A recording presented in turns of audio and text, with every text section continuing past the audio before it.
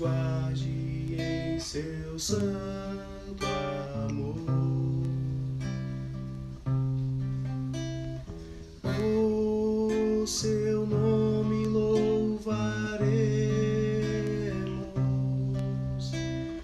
onde quer que nos achemos. Deus nos guarde em seu santo amor. alvo da Jesus, estaremos livres de qualquer condenação. Junto ao santo